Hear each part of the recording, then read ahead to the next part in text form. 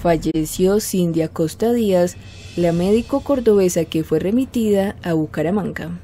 Luego de siete meses de luchar contra el 19, falleció Cindy Acosta Díaz, la médico cordobesa que se convirtió en insignia del valor de los profesionales de la medicina para vencer la enfermedad y lograr un adecuado tratamiento.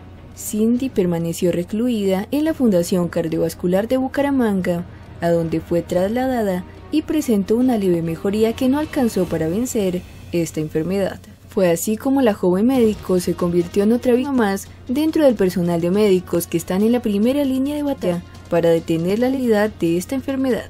Sus familiares y compañeros de trabajo de la casa del niño y amigos le dan el último adiós a quien consideraban una gran profesional y amiga. Solo nos queda el más grato recuerdo del ser maravilloso que fuiste. Fortaleza a sus familiares y amigos en este momento tan doloroso. Paz en la tumba de la doctora Cindy Acosta fue uno de los mensajes que se leyó en las redes sociales.